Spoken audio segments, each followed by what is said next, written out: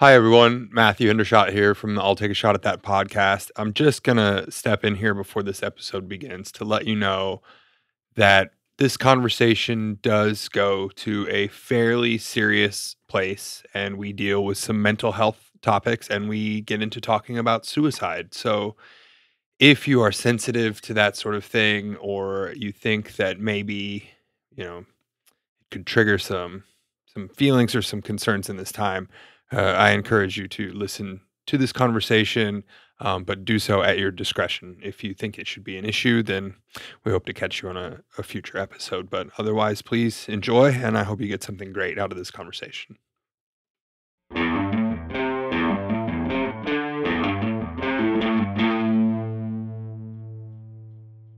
Hey, what's up, everyone, and welcome back to another episode of I'll Take a Shot at That, the podcast for thinkers, wanderers, and drink and ponderers. Of course, I am your host, Matthew Hendershot, and I'm very excited uh, today.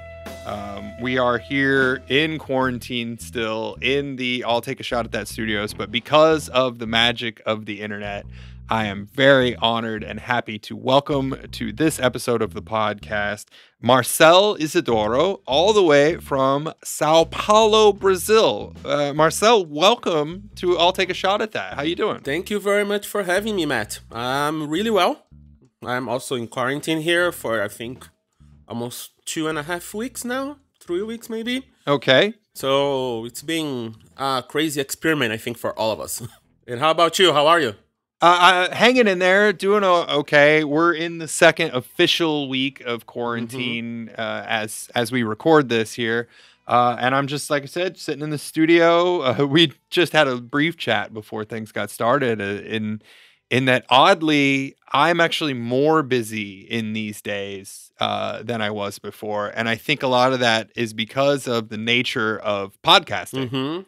Yes, and uh, you know, we're always hunting around looking for interesting people, uh, people who are podcasters. I know you are a podcaster yourself, mm-hmm. so uh, for the uh, the audience that that may not know that yet, and we want to get into that, but um, I actually find that the people that I'm interested to talk to, because everything is sort of ground to a halt, have more availability now to have those kind of conversations with me. So my calendar has been filled up with interviews like this via online VoIP and video hangout. Mm-hmm. Yes. Same thing here. I think me and my associates here in my podcast company, we are now more busy because we need to take care of things at home. We need to to take care of our spouses and and children and family and also have have the podcast, also deal with clients. So my nights have been too long my days are mm-hmm. also being too long.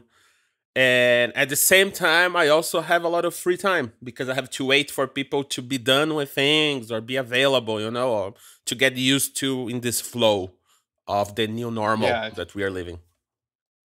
Yeah, it's certainly certainly quite strange. Um, I want to talk about all of this stuff that is occupying all of your time. Mm-hmm. Uh, but before we get started, I, I do want to ask: Are you joining me today in a shot? I, I like to kick off all the episodes of I'll take a shot at that with an actual shot.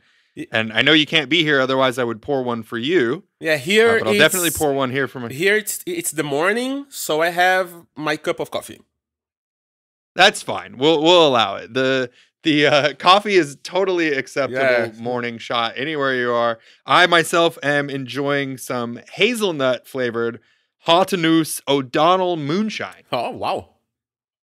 So uh, O'Donnell Moonshine is out of Berlin, Germany. Uh-huh. Uh, they are very, very kind. They do sponsor the podcast and uh, have set me up with this. So I'll be sipping this throughout the show while you sip on your coffee. Yeah. And hopefully it lubricates us into having a really great uh, and interesting conversation. So cheers to you, sir. Saúde. Cheers. I'm sorry, what was that? Is it sa- saluji? Saúde. Saúde. Yes. Saúde. Yes. That's cheers I love in Portuguese. It. Yes. I love it. I love it. One of my long-time favorite games is to collect the cheers uh, from all over the world in any place that I visit and go. So Sauji, I will keep and add add to the the list.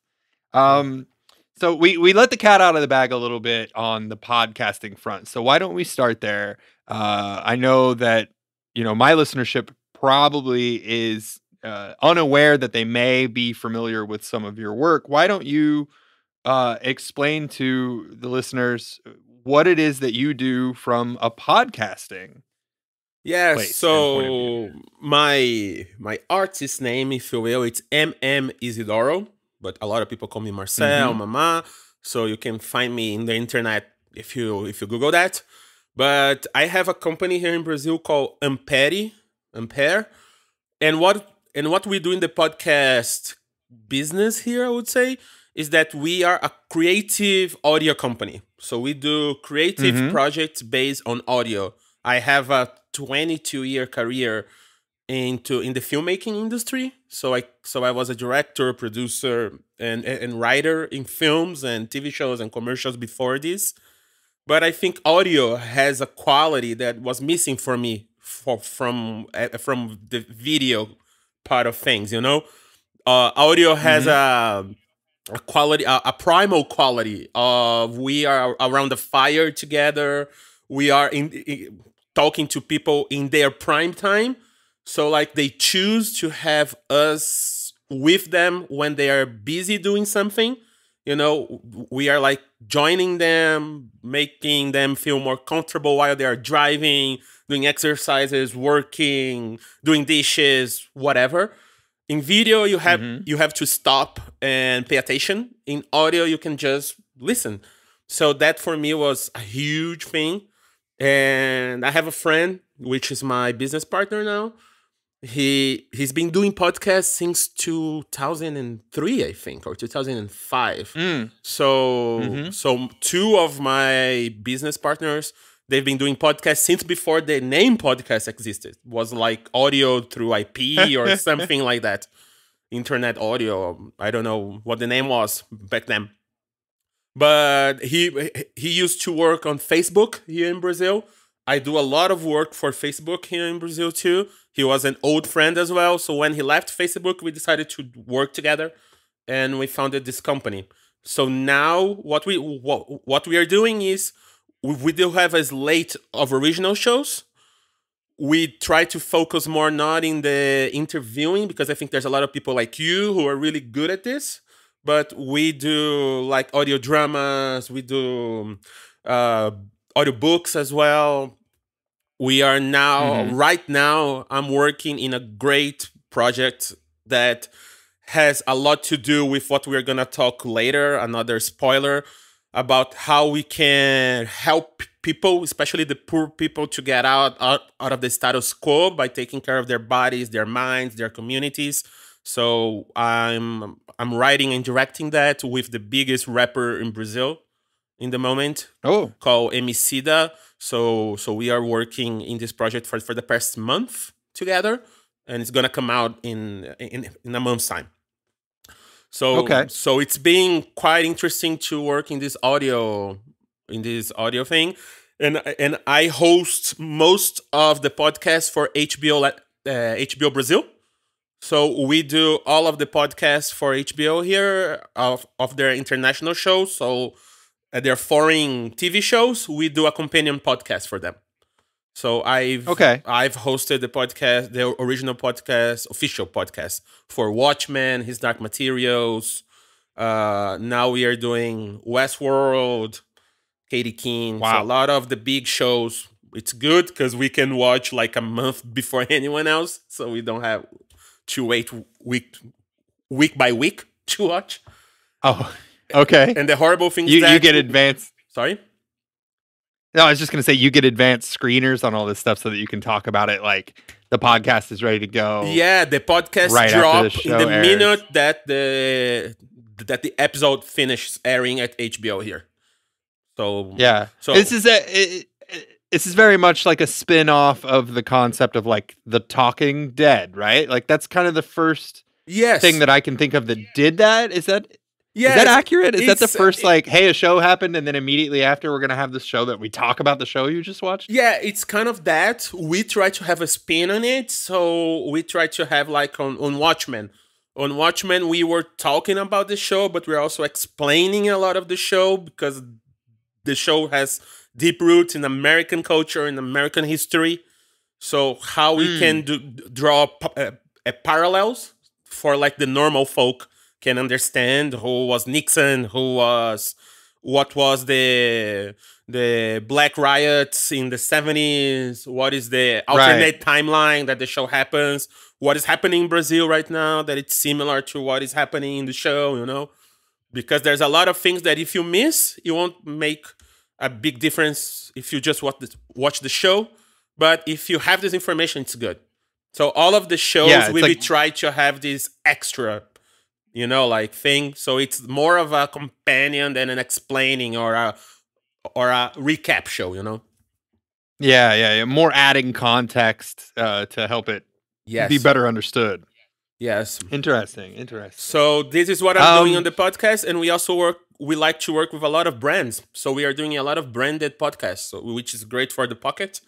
Not too great in the in the creative part, but I love my my clients in here because as podcast is so new, especially here in Brazil, people are giving us a lot of leeway to like create content, to create things, to talk. Especially in my work, I like to work with with positive ideas with ideas that even though i'm talking so like i'm talking we do a podcast here for a company that it's like an uber so it's called 99 and it's uh yeah. and it's a uber like riding share company and we do this podcast for the drivers but we managed okay. to to bring uh lgbt woman to to host the show because they there's a lot of problems with like drivers and women. Women drivers are like one or two percent of their of of the total drivers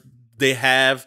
So how I can help them to stop having the prejudice and the ideas they used to have, you know? So uh, even though wow. we are doing a branded podcast talking about how to invest your money, why you have to work in the during holidays and other stuff like this that this company needs we always push something else you know like how yeah we can help create a new narrative if you will God, that's a fantastic idea yeah so it's I, I absolutely i absolutely love that this concept of like yeah you're you're kind of a kept audience this is conveying to you. It's like, eh, and you don't even have to like draw that much of a spotlight to something like that. You just let all. it be known, mm-hmm. and then normalize, right? Because all these drivers are sitting there and they're getting normalized to the fact that they're being spoken to by a human, yes, who just happens to be LGBTQ, uh, and and it's just like, yep, nope, it's just a person. Yep. Like ignoring all the labeling and a, wow, that that is that is super clever. Yeah, so that's wow. what I like to do in my whole work. Uh, in my Love filmmaking it. days, I have my latest two feature films. One, it's a horror movie. The other is a sci-fi musical. Crazy enough, and a sci-fi musical. Yeah, you know, once the Irish film. Yes, of course. Yeah, so it's like once, but if if once happened during the end of the world. So like now yes, exactly. so no. like it's two people that are musicians and they play beautiful folk songs together, but the and a lot of the worlds are ending. yeah. A...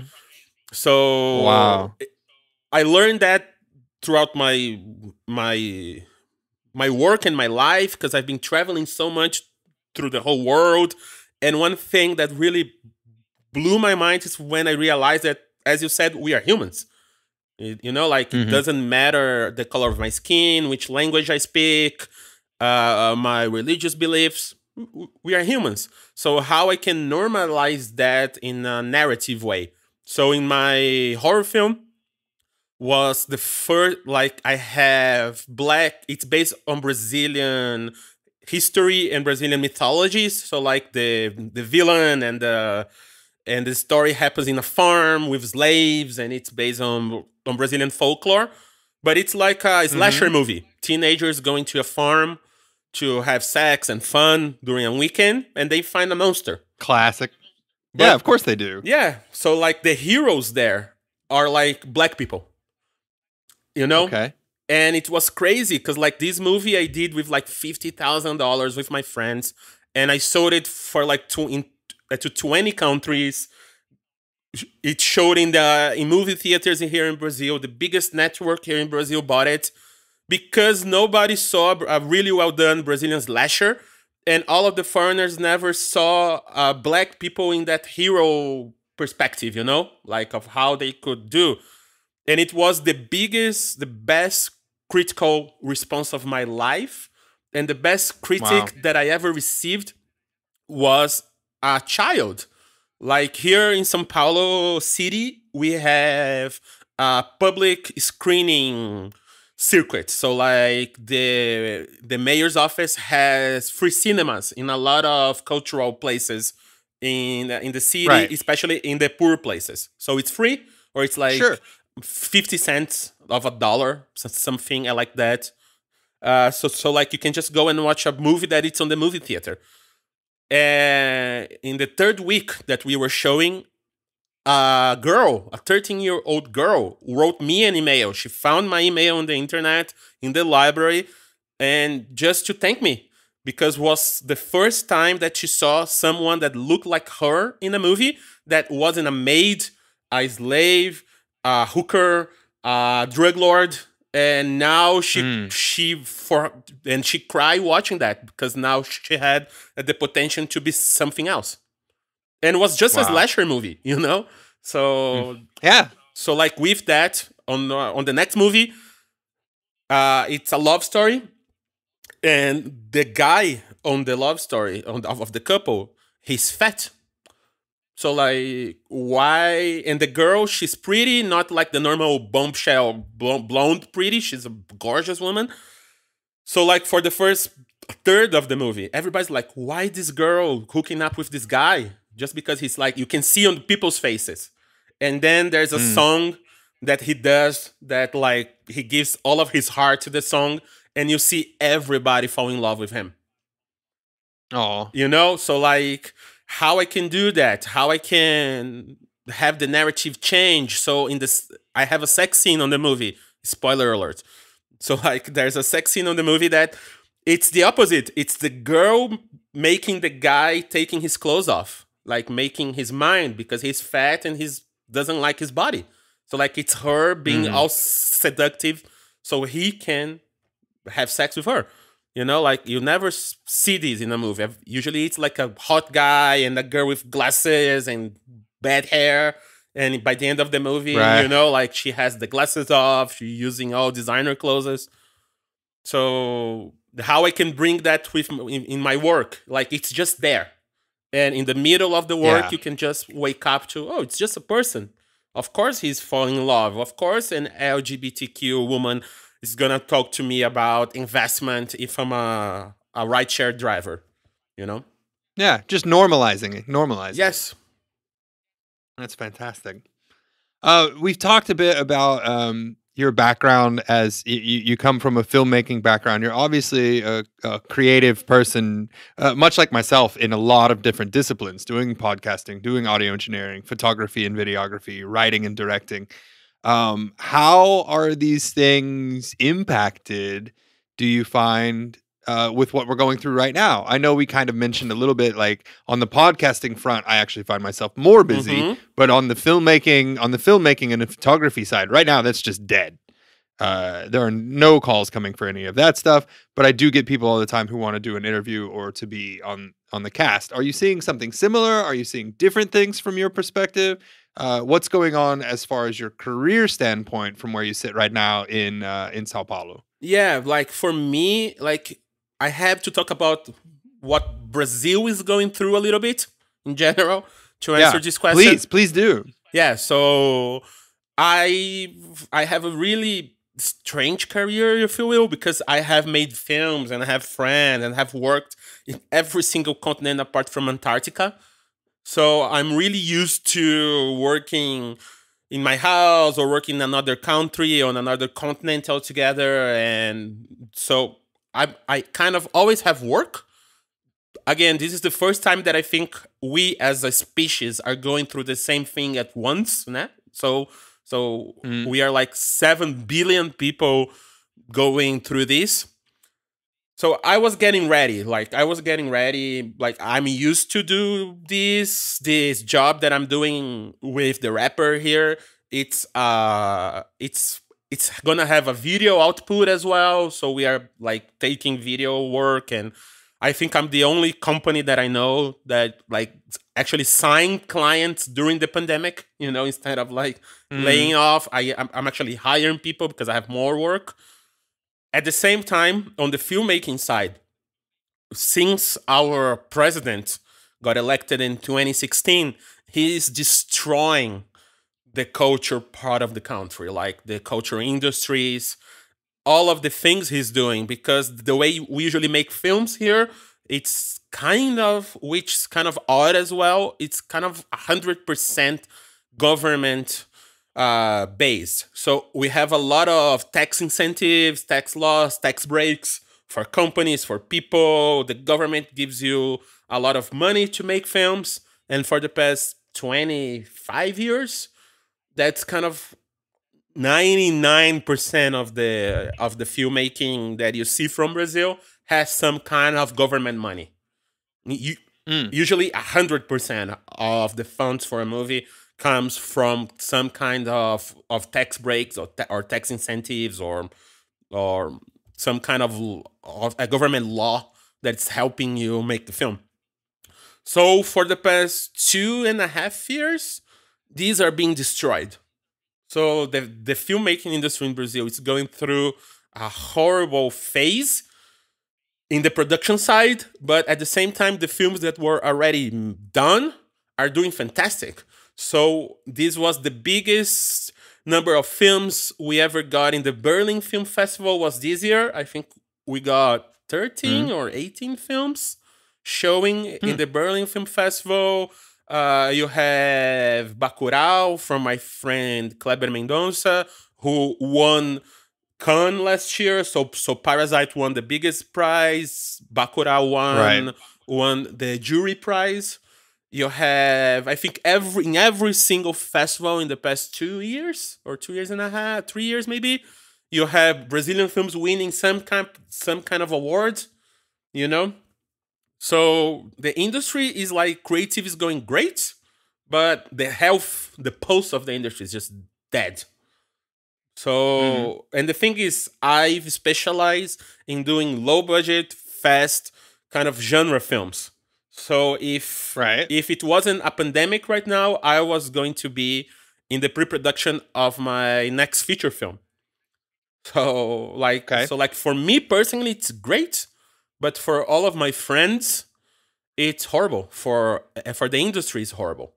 So, and it's going to be way way worse because we won't have a fade in and fade out from the pandemic. You know, like the pandemic will end won't have any help and the whole industry I, I don't i don't think like by next month that half of the production companies in brazil will be open yeah you think it just you think it just goes i mean it's so hard to say uh, if if like governments will step up and support some of these businesses if they even should support some of these businesses mm-hmm. i mean part of being an entrepreneur is taking that risk and if you're not prepared to fail but then that that gets into a whole nother level of economics and politics that i don't know if i even can realistically speak on mm-hmm. because i don't have that level of knowledge to understand that stuff um, I, I wanted to ask about uh, filmmaking in brazil in general and where do you think it comes from it, this this fact that there seems to be like a very hotly burning passion right now to tell stories. Like you said, all of these festivals accepting record numbers of entries from Brazil, people doing this like where where do you think it comes from that that people in Brazil want to tell these tales and have them be heard in this way? Yeah, like Brazil has a great I think the biggest one of the biggest problems and one of the biggest advantage advantages of Brazil is that we speak Portuguese. So like Portuguese, mm-hmm. it's a really melodic narrative language, you know uh like one and we have this close relationship with arts. We are social people. We like to go to places together to concerts to like every every day you can go to a samba party somewhere a traditional one that's going on for like 50 70 years you know? So we are really social gathering storytelling people. Uh, mm-hmm. on the on the filmmaking part there's like stories when when the photography was invented one of the guys who invented photography actually invented here in Brazil, in in Campinas, mm. which is a which is a city like an hour away from São Paulo. Was a priest, so photography it's like invented was invented I think in two or three places at the same time. One of the places mm-hmm. was here, so like we are we are kind of always in the forefront of of the production.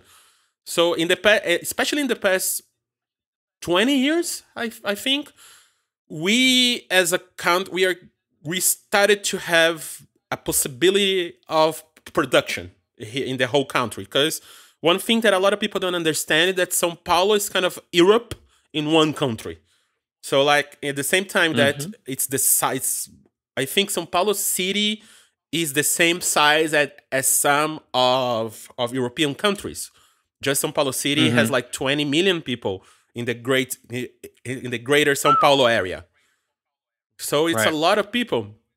And you and we have a lot of different geographies. So if you go to the northeast, it's like the beaches that you think when you think of Brazil. A lot of them is it's in the northeast of the country. In the north, you have the Amazon. In the south, was colonized by German and Dutch, so it's a lot of, of, of it's where like Gisele Bündchen comes from. They all look like the classic blonde, blue-eyed beauties of of, of yesteryear, you know, classic beauty. Then you have São Paulo and the southeast, who are who are more like of a farmer, Portuguese, Spanish idea, and, and and visually, like the cities really look like Portuguese cities if you go to the old part of, of town. So when the we had governments especially in the early 2000s, that were giving people money and they could work with art they could do stuff and and the technology was getting there you could buy uh, from a mini dv camera back in the day to now uh, even a red camera if you want you know like it's kind of affordable to have a professional high definition 4k 8k camera Oh yeah, certainly. Some people's phones do it. Yeah, like like the, my horror, my my musical. I did. Apple was my sponsor, and I shot the whole film on, on iPhones. Yeah, there you go. Yeah, so because I wanted to show people that it was possible to have a filmic look, to make a film language in in iPhones. It didn't matter the camera that you had. So with all of that, we are finally a lot of people who couldn't manage to buy a 35 millimeter camera or or even the stock film, you know? Now they can make films. Yeah. So like Kleber Mendonça, for example, he's like the biggest, our biggest director right now. He was on the jury for the Berlin Film Festival, won Cannes last year, you know, all of these things. And he was a critic for a long time, for like 20 years, I think. Mm-hmm. And when the and he's from the northeast, which is it's a historic, a, poorer place than the southeast where I am, São Paulo, Rio. So when this technology be, be, uh, just became available, he created a group of people. He was going to the festival. He was meeting a lot of filmmakers, and he just started doing. So like he did like I think ten short films, amazing short films, a lot of trial and error until he made his first feature film. I think ten or fifteen years after he did his first short film. Yeah. So that's why, and uh, and if you get our our literature, if you get our, our music, it's kind of always based on stories.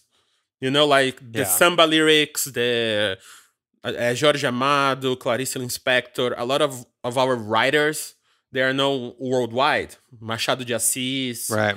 So it's it's great story. So now in the filmmaking, I think it's a process, you know, like it's we are seeing the tipping point of a process that even though the government's not helping us, we are finding ways to do it. Especially the people who never well, had a voice.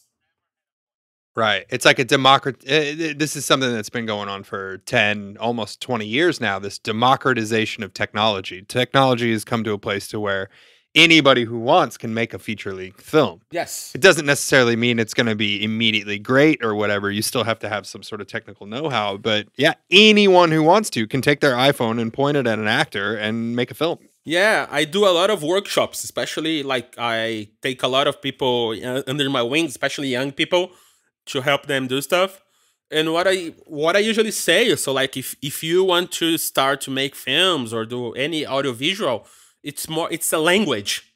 So like it doesn't matter if you're writing, it doesn't matter if you're writing the computer, in a typing machine, in a pen, in a expensive Montblanc pen, you are writing. It's it's a language you know like the verbs right. the adverbs the the the vowels it's it's it's the same it, it it's better sometimes it's faster in some ways but it's the language so if you learn the language if you learn how to speak film what is uh, over the shoulder how to cut exits how to frame it doesn't matter sure. what you're doing like or how you're doing it the image can be way better if you have a great lens and camera the image can be like crazy in a 60 frame, everything in focus if you have your cell phone, but it's film, you know? It's uh it's yeah. gonna be film. Like in if you're telling a good story, people will just forget yes. about it. Like people will just they won't matter what it looks like.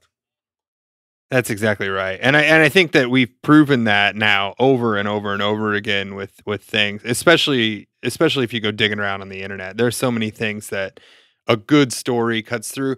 But I feel like, uh, though, also we've known that for a really long time mm-hmm. because we still go we still go back and listen to uh, classic recordings or or even like you know I, I, don't know maybe this isn't the best metaphor for it but like Bach mm-hmm. right like you go you go back and listen to uh, an aria from Bach that's a you know, several hundred years old at this point, and he's still telling a good story. And that's still why you hear it and it can bring tears to your eyes because even musically, he's just telling a timeless story. And it doesn't matter the device that it was recorded on, it doesn't matter the piano that he played it on or the organ that he played it on. It's the story itself, the story itself lives through. Yeah. And so that's that's a very good point. Yeah, that's a thing that also I was really lucky in my life to have been to all of this of the countries that I have, all of the places that I have. And sometimes I was being told stories in language that I even I didn't even speak. So like I always remember being in the middle of, of, of Zimbabwe in Africa and watching in this small tribe this woman telling this this these kids this story and she was was she was such a good storyteller that it was impossible not to be fixated by her. You know, like she was using mm. her her whole body when like she was talking about snakes. She uh, she just would like wave her her arms around and like pronouncing the s's like like snakes. You know, and yeah. like even though I didn't speak the language they were speaking, I I was understanding everything because she was a good storyteller. She was telling me yeah. stories with more than just language. So so if you if you take Mozart, if you take like even like J.K. Rowling today, you know, she like if you read Red Harry Potter, you might not like it, but you cannot say that it's not a good storyteller because she like got the whole world fixated, really in love with a magical kid wizard. So like you can yeah, you can only do that if you can if you know how to tell a good story, and that's I think the most important thing from uh, from an interview standpoint, from a filmmaking standpoint, a podcast, a song. We are storytellers. If you, I think a lot of people who are listening to this already read like Yuval Harari, all of these guys, and the society. We as humans, we are only here because we tell stories to each other. We believe in stories, being God or money like these ideas, which are stories that we believe, being Star Wars, mm. uh, something that happened in a galaxy far, far away, you know, a long time ago. Yeah. So like it's all based on stories. So if you know how to hack the stories in a way, how if you understand the shape of a story, there's a great YouTube video of of Kurt Vonnegut talking about the Oh. shape of stories. Oh yeah, yeah, yeah. So like you- it's amazing, so, amazing. So like it's an amazing storyteller. If you if you read his Slaughter his Slaughterhouse Five or any of his books, you know how of a how much of a great storyteller he is. So like it's these little things, you know. So it doesn't matter. I always tell people it doesn't matter the technical side. The technical side will get there, but uh, if you know the basic, the the the skeleton, then the muscle, then this the, then the skin will get done. Yeah, yeah. It's very, very good. Very true. That's the mic drop quote of the episode right there. Tell good stories, and the rest will get done. Just like let it out. Uh, I want to, I want to, I want to shift gears a little bit because I do want to give platform uh, for a very, very big thing that I know that you're involved with, which I find super interesting and super, super relevant right now, um, which is uh, EuEstou. Yes.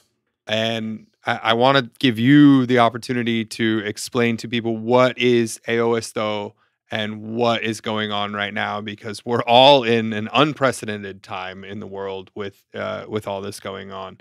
But uh, talk to me about EuEstou. This is one of the biggest interests that I have in what you're up to right now. Okay, so estou, which translates to I am or I am feeling. Uh, it's a project. It's like a collective, I would say, or a project. I don't know how to describe what we are, but the idea was to create a place on, especially on social networks, where we could talk about mental health pr- uh, promotion. So I have a really deep interest in how how the internet, how how these big companies even are dealing with us, how they are like a new type of power and and how they are reading us better than a lot of of, of psy- psychiatrists are. So what I did was I in this in during Carnival, so in February, uh, two years ago, uh, of 2018, I got a, a a panic attack. I was partying in the streets, surrounded by thousands of people, and I got a, a panic attack. And then I managed to, because I was already doing a lot of work on myself, and I managed to get into the car, drive home. But in that night, I had a really quick and intense desire to commit suicide. So it was really mm. fast, was really intense, and it marked me forever. So like, because even I that it, that I'm happy, I have everything on the on the material side. I'm working with what I want. I know a lot of people. I was dating this beautiful girl at the time. I had everything, and I had this desire to to just end my life. And I remember the surf lesson that I had years ago, where this this this instructor told me if you are ever stuck in a really bad tide, just let it go. Don't fight against it because if you fight against it, you get tired and you drown. But if you just let it go, the tide will come around and it'll make you go to to shore or some stone where you can just hold yourself or like a calmer part of the sea. So I did that. I managed to do that. And when I woke up on the next day, I decided to do something and understand what I was doing.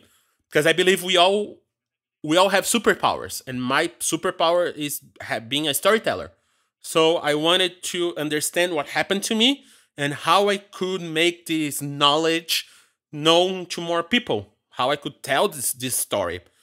Uh, a week later, I wa- I went to a bar with some friends of mine, a musician friend, a really famous musician friend here, and a really the first big YouTuber here in Brazil. And this YouTuber was really bad as well. And we did a thing that we males, 30 something males, like millennials, we don't do that we open up emotionally to each other. We just talked and I told him what happened to me. He told me what, what was happening to him, and we decided to create something together. So, like, his name is PC Siqueira, and in the beginning was just to make a series of videos on his youtube channel or even one video talking about mental health. But talking more with people i, I, I went after a lot of psychiatrists and psychologists to understand where this came from. And i met what who would later become our our technical advisor her name is dr karin scavacini and she is the biggest uh, people who works with communication of mental health, especially suicide prevention and postvention. That is the postvention. It's what you do after it happens or after someone tries. So right. talking with her, I saw that it was something even bigger that we had to deal with. And I do a, I do a thing that I always go to tech companies here in Brazil to steal to steal food. So I have a lot of friends who works at Google, who works at Facebook, and every time I'm around them uh, during lunchtime or like for a coffee break, I call them and I and these companies usually have uh, great food in their offices. Mm-hmm. So I just say, "Oh, you know that ad or that data that, that you sold from me? That's gonna be my lunch today. So I'm going up there and I'm gonna have lunch." And they usually yeah. just invited me up. So I was having lunch on Facebook and I saw a friend of mine and we do a lot of things together. And he just did a company for for AA, Alcoholics Anonymous. So mm-hmm. he just worked with Facebook and AA to do something. I say, hey Steve, you're gonna help me do this. And then we kind of man I managed to work to to convince Facebook to give me money so I didn't work for for like the whole year. And together with Facebook, we mapped a lot using big data, using a lot of stuff, how to talk with people using social networks. So in the end, we did 12 hero videos that we call. We did 12 longer videos who who are who is like a deep dive on mental health, especially on suicide in the in the first wave when we launched. And in the in these 12 videos these are like 5 to 10 minute videos we managed to do after 120 pieces of content. And these 120 pieces wow. of content we release in, in the first three months. So we have comics we have just just like a 15 second video. We have just like phrases that you can read. So it doesn't matter which part of a crisis you are or if you want to help someone there's like content for you there. Like content mm. from we had three pillars to create all of the content. So the pillars were we needed to to uh, demystify if i'm not mistaken the english word? Demystify? Yeah. The what is mental health we need to to to teach people to to give them yeah. support even if they are sick or if they need or if they need to help someone else and we need to to to educate people mm-hmm. on what was happening so all of the contents have these three pillars on them some are more based on support others more in education but they all have these three pillars and it's me PC and and Dr. Karin speak in the video in a way is like in a straight manner. We go and say, so it's better uh, to have a mad friend than a dead friend. So if you know your mm-hmm. friend is trying to commit suicide or want to commit suicide, talk to someone, even if it's him. You know, like if him doesn't or her doesn't want to talk to you, talk to someone else. But mm-hmm. help him. He's he, he needs help. From like how to start a conversation, how to ask for help, where to ask for help. So we are like showing there is a door, but like this door you have to cross. And we treat it as like an advertising campaign in a way. So we had Facebook gave us a lot of money to buy advertisement in their in their services we based this campaign especially because we wanted to talk with young people on instagram but we are also using whatsapp and facebook and by the mm-hmm. end of the first wave we had reached a tenth of the population of Brazil. So we had reached more than 20 million people with our content. So people Wow. like, and we were receiving like photos and videos and thanks from people like in the deep in the Amazon, people who are like joining together for the first time and and watching watching our videos, you know, like as a group to try uh, like a support group to help them get out of uh, of whatever they were feeling. We had stories of of people of women who met in the in the comment sections of the content and they created a WhatsApp group to help them get out of abusive relationships. We have churches Mhm. and priests come to us and say that they, for the first time, understood that it wasn't a lack of God in the hearts of their of their perishers and how they now can help them more. You know, hmm we have kids with with highly religious parents or like parents who didn't believe they were sick or they had a depression and they sat down with their parents and show our content and they and they finally understood what the kid was going through. So it was like the job of a lifetime. And the most beautiful thing is that for for facebook to help us was like the first time i think they ever did something like that we became a benchmark uh, the facebook system. When you buy like ads on facebook the system gives you a rating and I, I i used to do that a lot you know with with my agency clients even my clients to see how was how the ad was performing and it was like the biggest ad I've ever seen, even on Facebook. The biggest rating they ever seen the system give was like a five out of ten Wow. for like a McDonald's campaign during the World Cup. You know, like for like or a Coca Cola during the Olympics. So like give here it's like have a free Coke with friends watching football or whatever. Right. We did Right.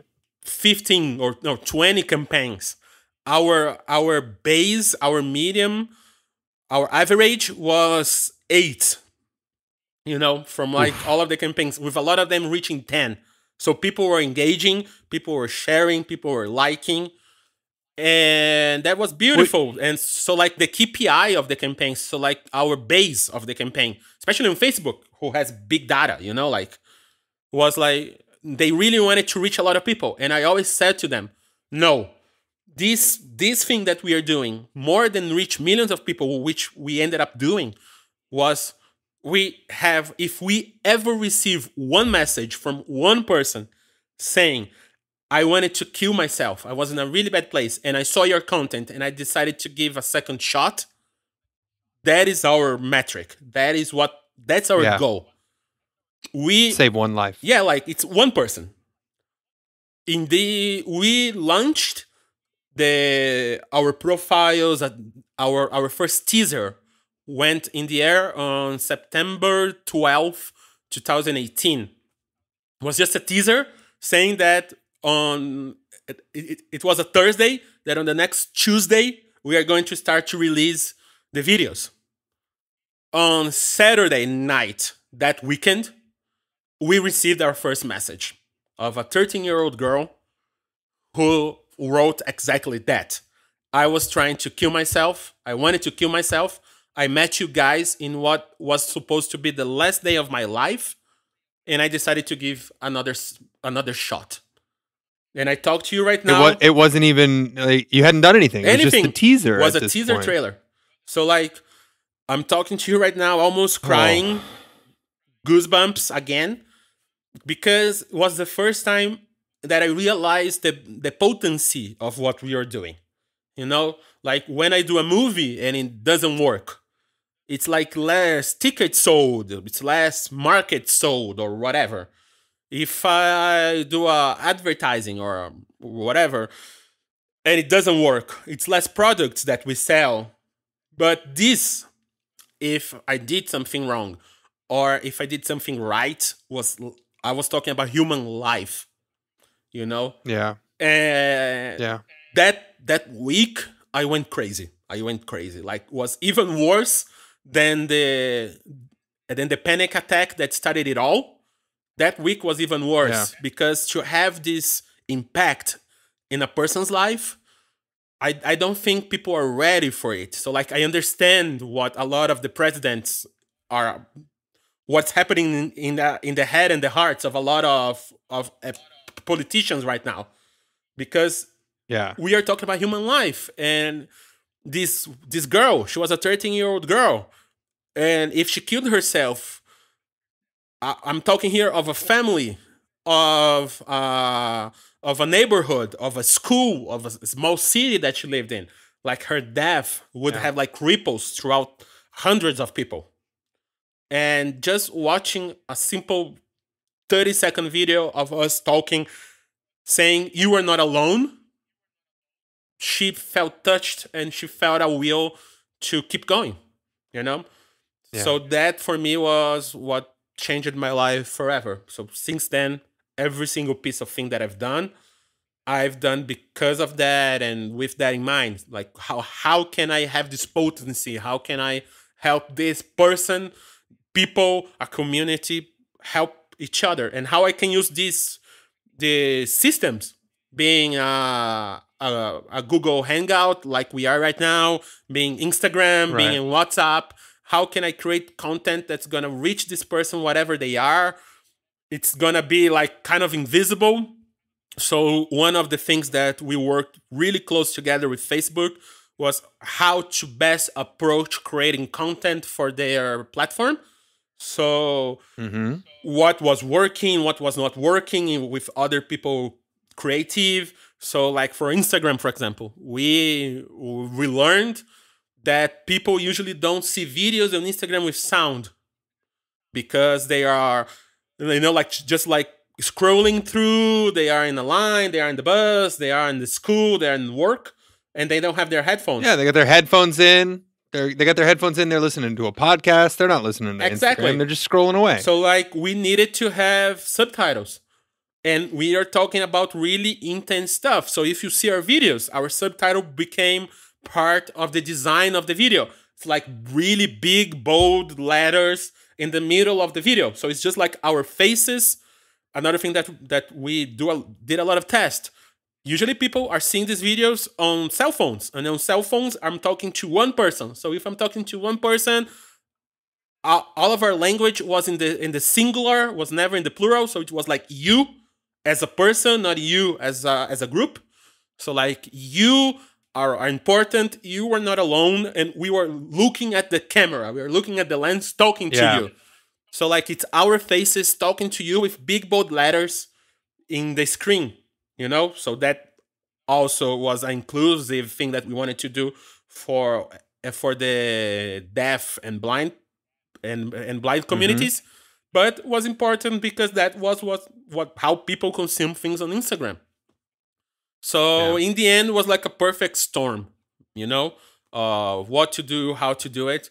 And now we are starting our third wave. So our second wave was we we interviewed survivors uh, suicide suicide survivors so a, suicide survivor is not only people who try to kill themselves and not go through with it or doesn't have a successful attempt but also the people who are left behind so Left behind. Yeah.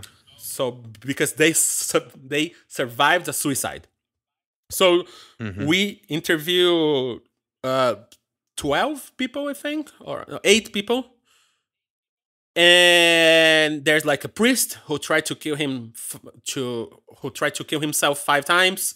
You have uh, a girl who tried to kill herself because she she flunked math when she was 12 and she jumped out of a window and now she's paying the price uh, un- until now she's like almost 30 years old you have mothers who lost their daughters you have uh, parents who lost their a daughter because me- the the medical professionals didn't treat them right you know Mm. like because the kid tried to commit a suicide why they were going to help someone who wanted to die.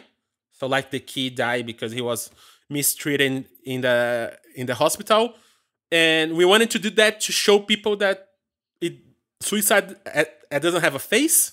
It can help to a priest. It can help to a twelve year old girl, and you're not alone. What you're feeling, it's what a lot of people in the world are feeling right now. So you can Yeah. talk to each other, especially with the technology we are having right now in our hands. You can just talk to people, even strangers, and they are gonna be there for you. So Well, I- and it, and now the third wave, we are doing this project with the rapper. So it's how we can empower mental health and even physical health in the favelas and in the poorest part of the country. Hmm. I guess it, one thing that jumps to my mind that I, I feel like I want to say, and I want to I want to pivot this conversation a little bit to current events, is is ultimately where I'm headed. But one of the things that jumps up into my mind as I hear you tell that story is I can't help but think to myself uh, about the numbers, and and it's weird to put it in these terms. Like I don't want to call it the success of the campaign because Mhm. we're talking about people's lives, but it is a great success uh, that you reached. You know this massive, massive number of people. But my brain jumps up and it says, well, that number means two things. One, it, it is a testament to the quality of the campaign, you know, the effort Mhm. that you put into the video and and the effort that went into getting it spread and getting it seen. But there's also a dark side to that number, which is this is this is a representative number of how many people needed to hear this message Exactly. and and that's just i mean i'm a little bit leveled you you said before that you were immediately getting emotional talking about it. i'm getting emotional hearing you Mhm. speak about it because it just draws into such a clear perspective like how big this number is of people who struggle with living with themselves every day Yeah, I And- think there's a like I learned a lot during this this this process. Like every day was a new learn a lesson, every like a learning curve or something. And one of the things that like I learned is that the system, the the narrative that we are living is a really individual, uh, like lonely narrative. The nar- the I, I like I don't want to pinpoint to uh, the American way of life, but the American ideals, you know, the post-war ideals of of capitalism, of whatever we are living right now, it's lonely. And we are a social species. So like we need people around. We need to work together. We need like a way to change stories, to change feelings, to hug, to feel hormones, to look at each other's Mm. eyes. So but that was getting apart because we needed to work we need to have three jobs just to get by we need to to work overnight or didn't have time for our loved ones and whatever so Mm. there's a lot of these that are, are happening and at the same time i am an optimist so i think a lot of people were listening to us and I do a, uh, a comparison to what the LGBT community was went through the 70s, 80s, and 90s. You know, like Mm. was like you couldn't like the gay was a the butt of a joke to be gay. Right Then was like all, all of our artists are gay and they are in society. To now the CEO of the biggest company in the world is gay and it's fine. You know, like I like gay marriage and it, it's not fine per se. Like we still have a lot of, of of homophobia and everything, but like it's getting better. You know, like hmm it's it's normalized as we were saying in the beginning of the conversation. So I Mm. think mental health it has to be normalized. Everybody has been sick for millennia. You know, like you see all of the big artists of our time, or like for since the dawn of time, probably that they had some time of mental health issue. To be locked down, Oh, yeah. to have a deep feeling, to have to put it out. A lot of them kill themselves, and even even nowadays we connect, né? Uh, a lot of the mental health that we go to the suffering of arts. It's it's pretty to suffer, to write a poem or a song, to be addicted. Mm. You know, like I want to die by uh, by the time I'm 27 to uh, to join Kurt Cobain and and whatever whoever else died by when they were 27 but it it sucks imagine living with that kind of pain imagine living with that whoever is living with you you know like to live with someone who's who have that kind of pain. And suicide in the end it's a way to end the pain. And it's such a great a huge pain that you are feeling that the only way that you can end that pain is ending the root of the pain that it's yourself. So when you are in the uh, close to commit suicide you're just feeling pain. And right now doesn't matter if you are left wing right wing if you are a capitalist or socialist we are all in pain. We are all broken. We need to find a new narrative. And that's why me and a lot of my friends who are studying this what is happening right now uh, philosophers and, and and political studies and everything we came to this conclusion that we are all broken. And we are in the cusp and i think the virus right now it's gonna push this really fast uh, of how we can come out in the other side with a new narrative with a new idea.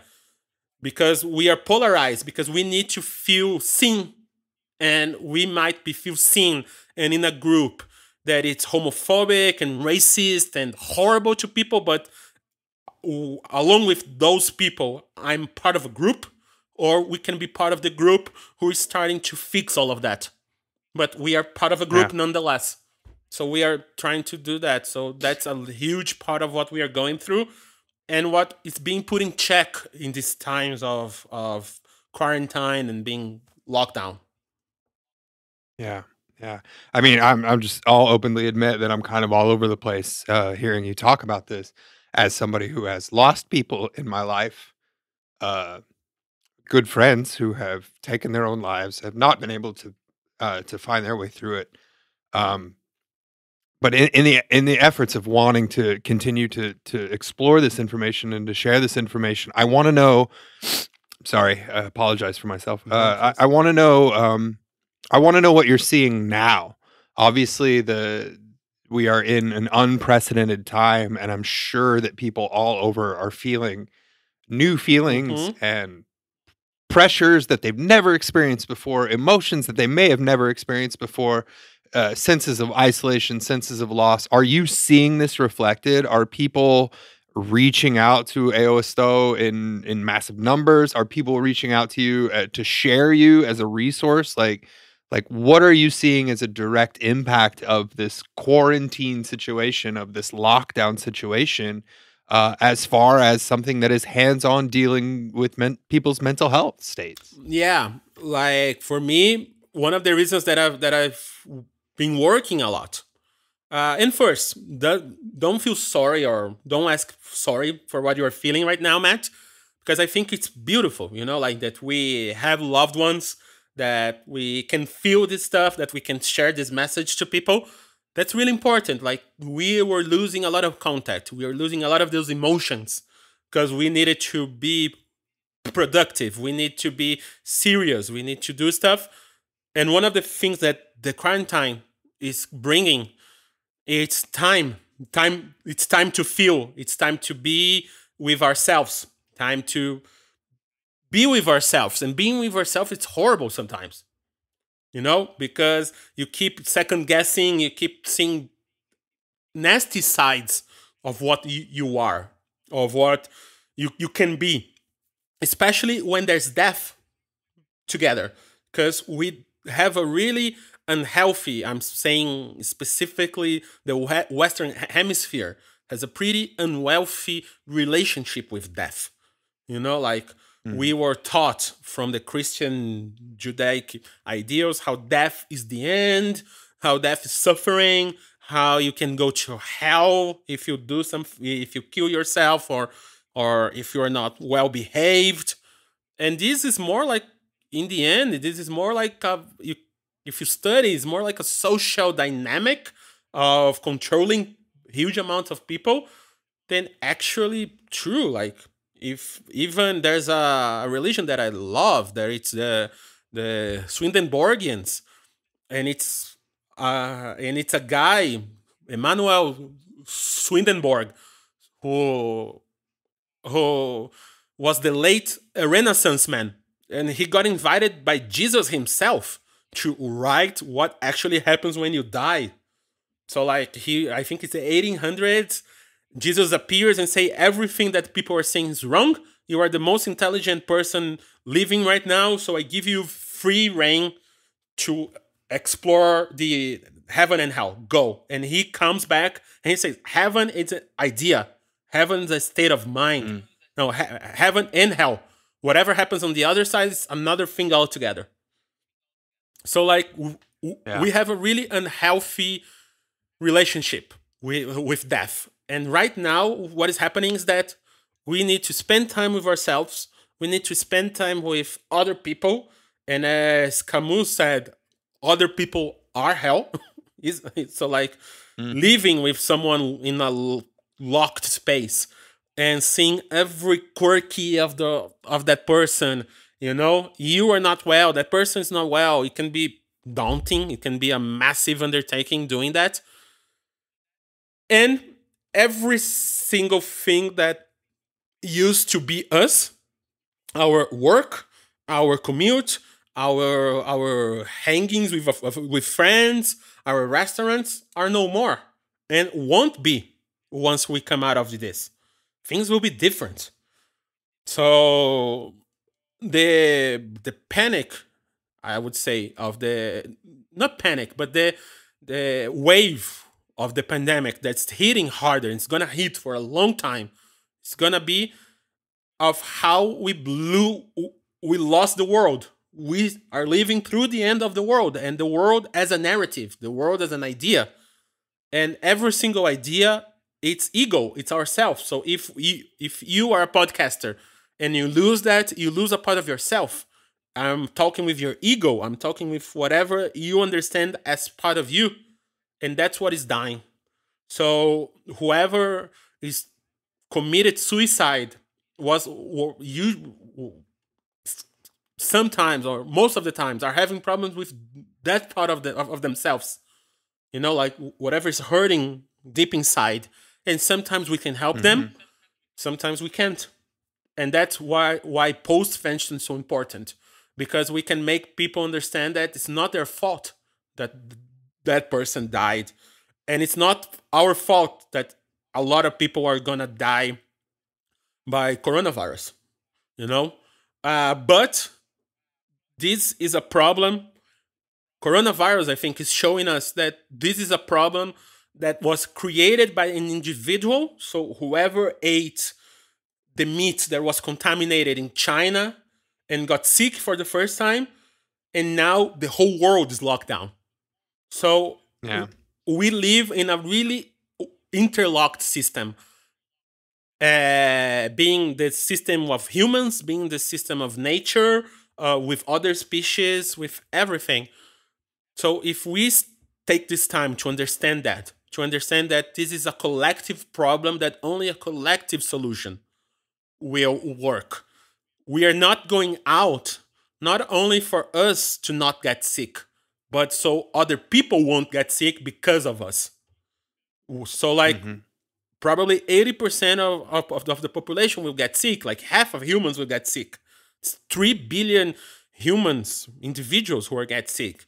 Most of those people won't even have flu-like symptoms. But 10% will die because those people had didn't have symptoms. So yeah. we need to think collective. And with the technology we have, with the systems that we have in place, it's gonna crash, you know, like it's gonna bump heads. Because we have a system an idea, uh, a story that is based on the individual, we need to hoard money, we need to hoard resources, we need to be the best podcaster, the VIP, the VP of the company, the best influencer or whatever, when we can just create a community and be good with the community when it's just enough, you know? So I think in these changing times, these ideas is gonna be what people are gonna go through like a socialism of feeling in a way you know Mm. like of an emo- emotional socialism, nice. yeah of of how we can connect with other people and that's why you know like zoom it's a a, a system that you can talk to other people remotely and have hundreds of people in the same call because now people are missing something that was always always there and you know Yeah. Well, and it was it was always there before. Like Zoom is not invented day 2 of the quarantine, you know. That that those devices, those tools to communicate with each other have always been in place. We've just never utilized them in this way and it it, it took it took a disaster to bring us all together, which is a tragic thing. yes And even still, we're not all coming together. We're we're not there yet, but it at least got a lot of us talking about it and thinking about it in a new way. But it took something near catastrophic, if if not catastrophic, actually, to bring us back to ourselves and to bring us back to each other. And this realization that, yeah, you know, you can post a picture of yourself on Instagram and it can have 1.6 million likes or whatever.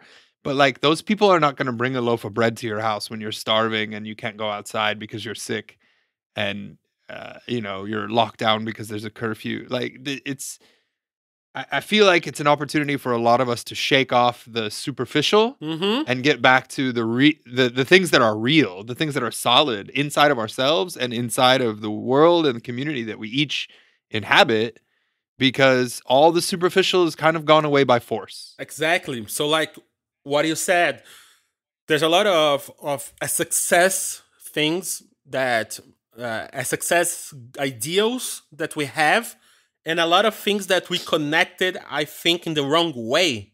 So, like the idea of money, of how money money in the last hundred years, more more so since the in the between war times and especially in the post Second War time became almost a essential part of the human existence, along with air, along with Mhm. food, along with water. Uh, so like if you don't have money, when when and it and and I really like to study language to see how people relate with certain things. So like when a person doesn't have a job, they are gonna starve to death because they don't have a job and because they are not earning money. Uh, when where in English you say a means of a living, you know, like for when uh, or, or like a living wage when you're talking about money, but it's Right. but like money. It's like the money has to come first. Yes, but it doesn't. So like the Yeah. the, the indigenous people, they're living without money and they're doing fine. Like we disconnected with the natural world. So the money is not important. What is important? It's what we do with the money. It's like an easier access to food, to water, and to shelter. That is the things that the natural things that we need to keep going. So so like if we start to change our way of thinking. So I'm I'm uh, I'm I'm feeling this with a lot of my close friends. Naturally, I, I think artists they have like this antenna that are capturing stuff before in the in the collective unconscious first. So a lot of my friends in the past five years or so, we always started to plant stuff in our houses, to to to, to plant produce in our houses. We started to look places to to buy like land in the countryside where we can have a more sustainable farm and and whatnot, you know. And it was like a natural process of us looking at each other and saying, it's not our songs who are gonna feed us, it's not the money's gonna feed us. It's like if we understand that it's it comes from the land, it comes from this world, and we are in a symbiosis uh, relationship with everything. And money is just the idea. Yeah. It's a, it's a facilitator. It's not the the goal. You know, like it's a means to an end. It's not the end per se. Yeah. So, and and there's and there was a quote that I saw on the internet by the daughter of the ex-president for the Santander Bank in Spain. Uh, he died from from COVID, and she said, Yeah. like, we are a family who has a lot of money, but my my father died alone, grasping the one thing that we couldn't buy that it was air. Yeah. So like it's simple as that. You know, like this virus is taking one of the most important things that it's air out of our lungs. You know, so we if we started to pay attention, it's gonna be a tough change. Like you, you have the United States trying to do a coup in Venezuela, so war is coming. You have Hungary starting to go in a dictatorship. You have a lot of these things happening during the pandemic. Things are gonna get a, a lot worse in the pandemic as well before it gets better, before we do have a vaccine. But on the other side, I, I really truly believe that people is gonna are gonna wake up to all of these small things, being that you need to take care of your body, your mental health. So if this happens again, you're ready or if you go through something as, as traumatic or as intense as this, you can do this.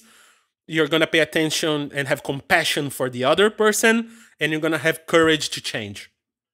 And mm. this, I think, it's a it's the basis of what we are doing right now with the content we are creating for the favelas. And there's a quote that I always usually end my conversations, but I think this is the, pers- it's the perfect moment to add is that if if everybody shines a little bit, we can become a constellation, and nobody yeah. can put this light out. So if if you don't need to do much, if in this moment you can just take care of yourself, if you can take care of an older uh, of an older person in your family, uh, on, on your neighborhood, and you're building a block, if you can take care of your friends, call them, talk to them, send food to them if they don't have money, you know, like buy takeout or like a supermarket and, and like essentials and, and drop to them. If we can shine just a little bit, like a tiny, tiny bit, this light's gonna become so bright that the other side is gonna be amazing. Yeah. Yeah, I hope so, man. I can I can't I can't I can't agree with that any stronger than I, I do now. And um in, in that spirit and i know that we're to go long on this conversation longer than normal but I, I don't care because it's just it's so uh, nice and refreshing to to be able to connect and communicate within you this with you in this way and i i want to ask about you we've talked for now almost an hour now mm-hmm. about the work that you've done and and projects and everything like that but uh, honestly at this point it doesn't really feel I, I, it's important, but it's not really relevant. And I, I just feel myself, I want to ask how you are doing. Like, you are obviously a human being. You are in mm-hmm. this place. Uh, you are in Sao Paulo. You are also in quarantine. Brazil is going through some craziness uh, yes. uh, with uh, Bolsonaro mm-hmm. and, and all this insane stuff that the government there is doing. How how are you doing? Yeah, so like I'm gonna divide myself in the physical and mental part, even though it's two things. So okay, uh, on the physical part, I'm not doing really well because I got hepatitis. So, mm. Well, which I'm saying is the best and the worst time I could ever got a virus disease was in, during these times because I have to. Boy, there's no, there's no joke, right? Yeah, because I had to stay home. I I have the lighter, the easier eh, hepatitis there there is, which is a food poisoning hepatitis but at the same time it sucks you you get to like you get dizzy and lazy and and it I, I was supposed to get hospitalized two weeks ago i couldn't because the, the hospital was already overflown with covid uh oh, shit. yeah the doctor didn't want to to put me in a hospital if i didn't need to if i wasn't in pain or you know needed some actual death uh, life threatening conditions so I'm I'm, I'm right. taking care home, but at the same time I've been kind of kind of getting ready for a moment like this for a long long time. Like uh I've been working a lot. I I was really lucky to meet a lot of people throughout my years that we we think alike and we we realize that the way we were living wasn't sustainable. So mm. I understood that I needed to take care of myself when this moment happened. I I I really thought that this moment was going to happen in like five to six to 10 years' time, like what's going to happen in the 2020s, but in a later date, not in, not, uh, not in the first month of the new decade as we are living right now. I, you know, like, oh, Christ. I really thought it was going to be in this decade, but not literally in the beginning, in the first day Oh, of it. So, Yeah. Um, so yeah, like I've been taking care. I I I have a one hour and a half uh routine that I do in the morning where like I used to do Pilates and yoga in a studio close by. Now I'm doing what I can, in, especially with the hepatitis in, home uh, here in my home. I do um, a meditation that changed my life. I do a breathing exercise that changed my life. Uh, I take a cold shower. You know, like I do uh, fasting. So I usually eat around lunchtime only, and I finish eating at five. I lost sixty-five kilos in the last ten years, five five to six years. So like I've really taken care of myself, and especially. Eu Estou make me really uh, resilient. So sometimes I lo- I lose the English words, but really makes me That's okay.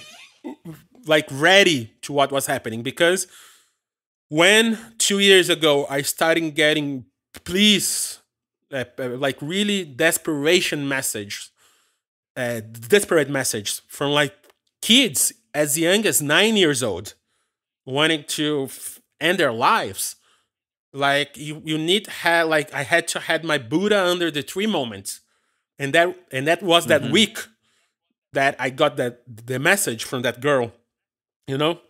Of like i was with my psychiatrist and my psychologist my uh, priest friend of mine. They were all helping me go through this week. And in the end on the other side when i got through was like an uh, uh, enlightenment moment of that i'm only showing the door. I can only show the door. If the, what this person chooses to do with that information with that door is their choice. So right now i'm my mind's really like ready to not ready because it sucks. I lost four people like close by people to covid just last week.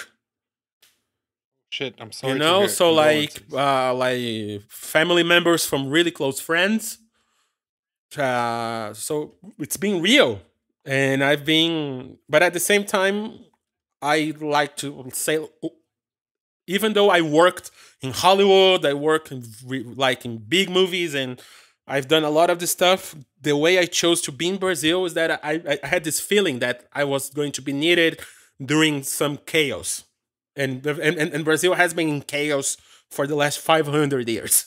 So, so like one of the ways that I, I I am here was like I was getting ready for this moment, and it's here. So I need to perform. So that's why I've been like having amazing conversations with companies of how they can help, how can can what they can do, what where they can even like donate money, like not even doing a PR stunt just how they can take care of their employees, how they can help the civil society, what we can do together, who can can work with to do stuff. So it's been intense. Like I I have especially that I I really need to balance the energy expenditure with me healing from the hepatitis. But it's been Yeah. but, but it's been great. I mean, how about you? Uh, you know, I don't I don't it's hard to say. It's hard to say because uh you know, somebody who is a fairly independent person anyway and dealing in the world of podcasting and trying to tell stories, that's a pretty pretty individualist lifestyle. You do a lot of listening and then a lot of uh, sharing uh, in response. And in this regard, when we are separated from people, I find that many things come to me, and my initial response uh, may be to want to share it, and then I turn and I realize, oh yeah, we are in a time to where it's not so easy Mhm. to share uh, with your friends anymore, or or with your loved ones. You have to go through extra steps, and even then, we are separated from each other. So. I am feeling uh, myself quite a bit of isolation. Um, but I also feel this motivation to keep on going because, uh, in a bit the way that you were saying, I think those of us that have a voice, those of us that have a platform, uh, you know, like eh, this show is not such a huge thing. It's just some way that I can reach out into the world and, you know, people will hear it and maybe it affects some people or, or not.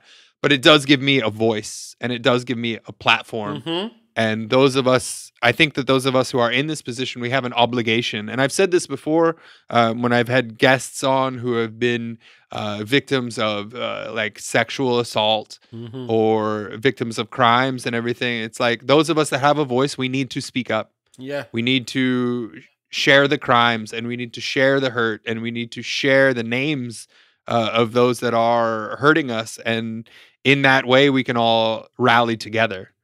And so, yeah, I mean, my show changed, you Mhm. know, to talk about this stuff because I think that these are important stories to tell now. Yeah. And I'm, I, I, myself, I, I can only say right now that I'm very honored uh, that I could share your voice Thank uh, and that you would have the time to come on the show and with your mind and your heart and your voice communicate with the people that hear this show because just as you said you're talking with major brands and you're out there on the front lines and i think from even just this hour long conversation i can easily say that a mind like yours and a heart like yours are exactly what we need in this time on the front lines. Uh, I, I think that these are the stories that people need to know and to to share is that there are people like you out there who are working to find the right way to be there for when we come out the other side because eventually we will come out the other side of this and I'm with you I'm I'm I hope that one day I can stand right there shoulder to shoulder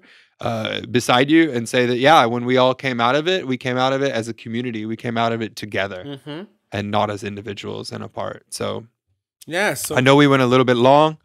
Uh, I want to I want to personally deeply. This conversation got a little bit more difficult for me than I was expecting it to, but um, but yeah, I am I'm just so flattered and honored right now that I've had this opportunity to talk with you, and I thank you from the bottom of my heart, Marcel, for taking the time to come and be on my show. Thank you so very very much. Thank you, Matt, for having me. Thank you for the kind words. I think we have to share, we have to talk. We need to, as I said before, doesn't matter if one piece, one person get touched by this, uh, if it's only us, if it's whatever, how many uh, listeners will get influenced by this. But it's important because these make ripples. These are seeds that we are planting who whatever time it takes will create beautiful forests and beautiful nature together so this is important that we are talking that we are connecting in an international level because this is a message we are one we are one species Yep. doesn't matter the color of skin doesn't matter what you think how you feed or what language you speak we are one and again one person ate the wrong meat in China last year, and in six months' time, the world changed.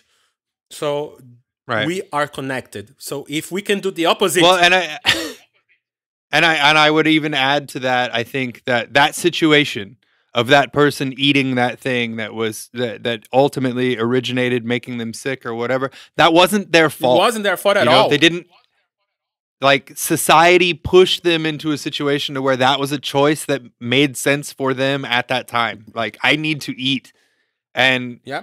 like you were saying before with the shining light, like there are seven and a half billion people in this world. If we can all shine 1% brighter, or if we can all be 1% kinder, even just a fraction of that, just, you know, even, even to one person in our day, one person that we meet, complete stranger on the street, that we, we give them a smile instead of a scowl, Yep. but you multiply that by 7.5 billion. And then what, what is the world that we live in at that point? Like when it's that 1% better. I- Exactly. Ah. Like we don't need to do much. We don't need to even change much. It's just that it's gonna be uh, just like the spread of this virus. It's uh, incremental and logarithmic. I don't know math well. Like thing that if you, as you said, if one person smile to the other and this other person smile to the other, and like the, the whole world's gonna smile together at some point. So I'm an optimist. Whatever you need to talk again, I'm here in a personal and uh, in a podcast level. Uh, whoever is listening yeah. to this, my DMs are always opening. I'm always trying to reach to people to do the best well, I can. And tell people how. So take this opportunity now. Instagram, Facebook, uh, all of that. Yeah, you can you can search for me at MM, two letters M, Izidoro, I Z I D O R O. Uh, on Instagram, Twitter, everything together. MM Izidoro, one thing. On Facebook, I think it's MM Izidoro, MM uh, space Izidoro. But you can Google me, it's easy. Uh, I'm always open. I usually talk in Portuguese, but i am doing a lot of English content as well. Eu estou is already traveling. F Facebook is implementing in Chile and other countries. So there's gonna be like mm. native content in other people, other people language.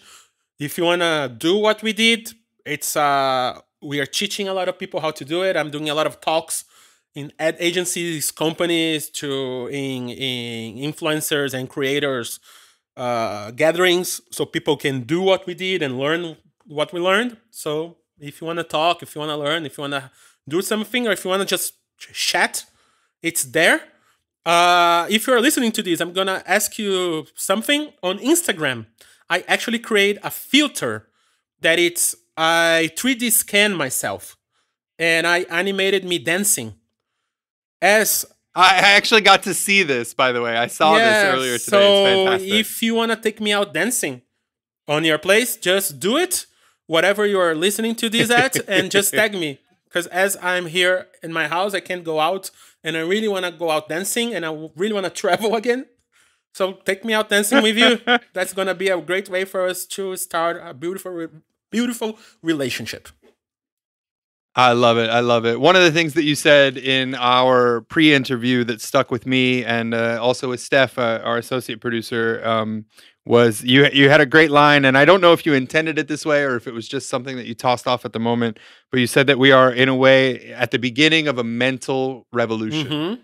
Uh, and and I think that that's very very true. And I think that everything that we've talked about so far uh, leads to that. Like this is really an opportunity for us to look at how we look at the world, how we think about the world, and how we think about each other in the world. And I really hope, I really hope that conversations like you and I have had, and conversations like I'm sure that you and I will continue to have in the future, um, help people to find that kickoff point for their own personal revolution because we're all in this together. And I think that this situation reminds us of exactly that, that we are all in this together. Yes, that's it.